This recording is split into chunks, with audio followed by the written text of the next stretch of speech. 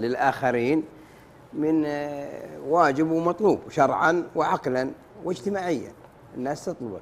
لكن الشكر الإنسان الذي يفعل المعروف وصنائع المعروف الناس لا ليس يطلب هذا الشكر من الناس وإنما هذا يريد ماذا؟ وجه الله سبحانه وتعالى.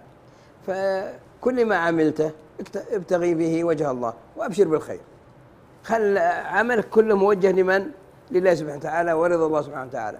ولا شك أن أعظم ما في هذه الدنيا كتاب ربنا جل وعلا ويأمرنا بماذا؟ بالشكر بشكر الله سبحانه وتعالى وبشكر الآخرين وبشكر من أسدى لك معروفا لكن الشكر أنت لا تحمل نفسك على أنه إذا لم تشكر لن تعطي إذا لم تشكر لن تشكر لا أنت خلك تشكر لمن؟ لله جل وعلا من أجل الله سبحانه وتعالى ومن أجل رضا الله سبحانه وتعالى وهذا هو المطلوب. لا شك أن القدوة الأولى لأمة محمد صلى الله عليه وسلم هو الرسول صلى الله عليه وسلم. الله سبحانه وتعالى لكم في رسول الله أسوة حسنة فهو قدوتنا هو أفعاله وأعماله وكلها منارات وطرق نهتدي بها. يجب أن نركز عليها ونهتدي بها ونبلغها للأمة. لمن لا يعلمها أو كثير من الناس لا يعلم هذه السيرة. والرسول صلى الله عليه وسلم سيرته مضيئة. نور على نور. تنير القلوب تنور تنير الأنفس تنير الفكر. ليس بعدها نور إلا القرآن جل كلام ربنا جل وعلا. هذه من الأمور التي يجب أن نسعى إليها ونشكر الله عليها ونشكر الناس. لا نبخل. أيضا أكرم الناس بما تستطيع. أكرم الناس بما تستطيع. لا يمكن نقول لك أكرمه بما لا تستطيع. باستطاعتك بالكلمة الطيبة بالخلق الرفيع بالدلالة على الخير بالإنفاق بالإعطاء. كلها أبواب للشكر وللإنفاق ول تحبيب الناس بعضهم في بعض. وهذا هو المطلوب. لا شك أن تطرقنا في مجلسنا إلى كثير من الأمور.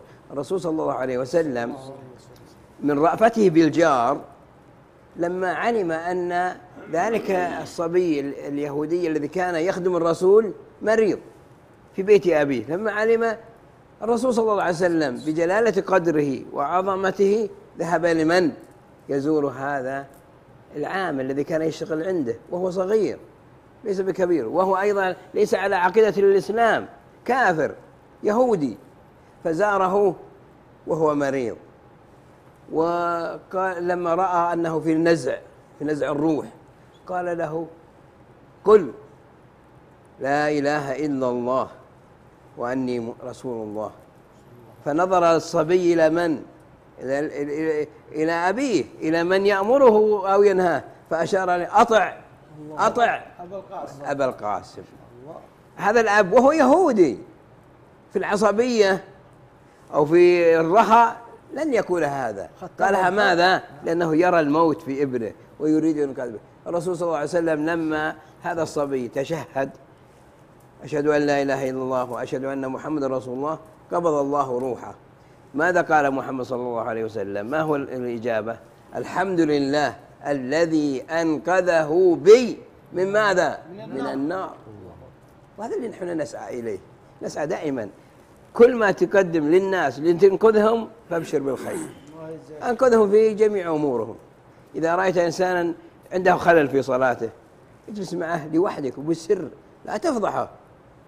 وبلغه بما لديك. إنسان عنده طياش وعدم رأفة ورحمة وقسوة على الآخرين انصحه برفق ولين حتى يقبل منك. وهذه هي حياتنا المسلم يجب أن يكون في خدمة المسلمين يجب في خدمتهم وطاعتهم وبذل الجهد لهم لأنه يحب ذلك. ألا تحب أن يكون لك مثل هذا عند الناس؟ أيضا قدمه للناس حتى يرجع إليك هذا الأمر. الله وصلى الله على النبي الطيبة. سم. أحيانا الضيف يقرأ بالكلمة الطيبة. آه، الشاعر اللي